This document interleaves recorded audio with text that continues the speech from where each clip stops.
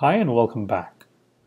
In the last section, you learned about what exactly is machine learning and the concept behind models.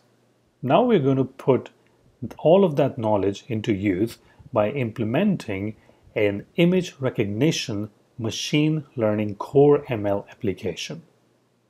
For that, the first task is to get the model, because without the model, our core ML will have nothing to work against.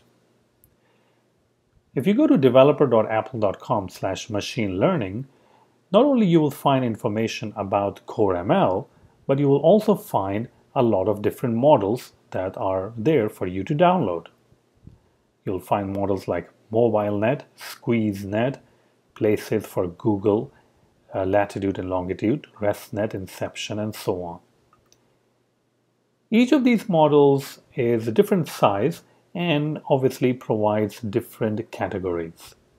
If you want to locate a scenery or if you want to find out if the scenery contains bridges or skyscrapers, you're most go probably going to use Places 205 uh, Google Net model. I'm going to use the Inception v3 model, which detects the dominant object's presence in an object from a set of 1,000 categories. Now, these categories can be trees, animal, food, vehicle, people, and many, many, many more. Get started by downloading the model. So simply click on the download link and download the model. I have already downloaded the model, which is inside my downloads file. Once you have completed downloading the model, you can create an app to import the model. So let's go ahead and do that. I'm going to launch the Xcode beta, which is the current uh, working version, which is Xcode version 9 beta 6. And I'm going to create a new project. Let's go ahead and select single view application and say next. And let's go ahead and call this image recognition uh, core ML. And let's go ahead and create it. Okay. Go ahead and build the app. This is a single view application and we haven't really written any code to it. Not a big deal. Now our next step is to start importing the Inception model that we just downloaded. So let's go ahead and go to the downloads folder and simply drag and drop the model into your project folder. Make sure that you are saying copy items if needed and create groups and also add to the target which is image recognition core model which is also the name of your project. Let's go ahead and finish it.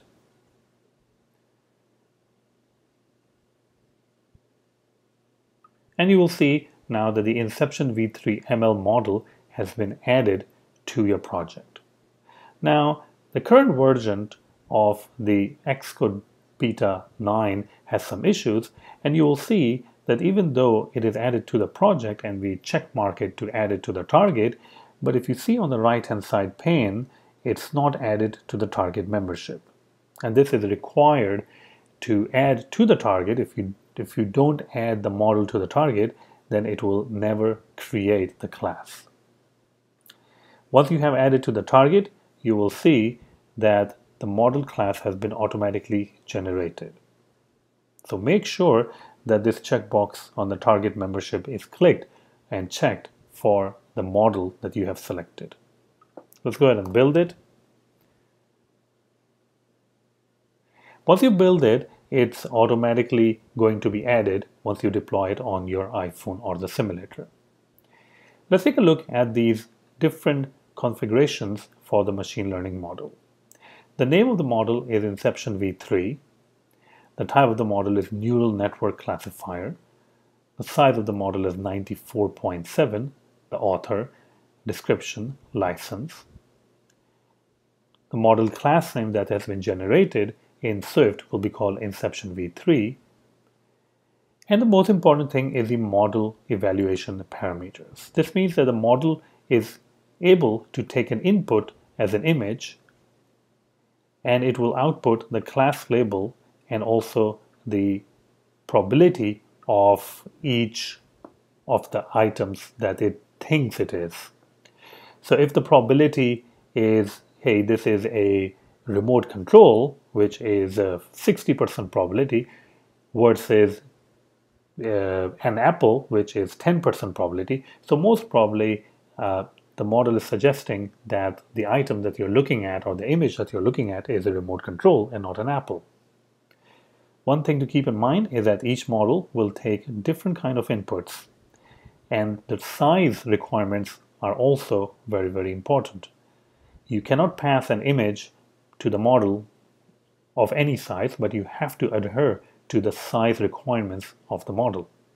As you can see, that the Inception v3 model, the current model that we're using, requires that you send in the input image as the size of 299 by 299.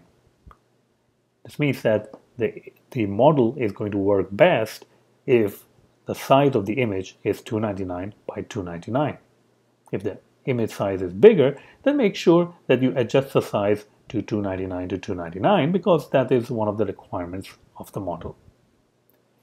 And that is pretty much it of loading the model into your iOS application. In the next uh, lecture, we're going to see how we can move further along of starting to use the model to detect the images. So stay tuned for that. Thank you very much.